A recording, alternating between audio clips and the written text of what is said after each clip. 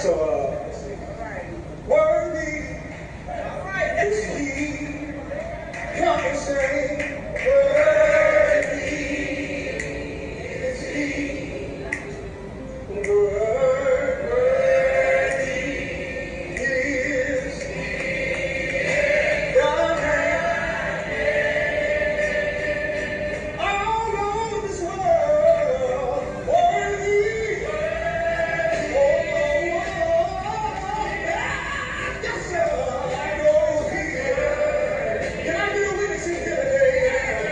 living a lot in Chicago, enjoy.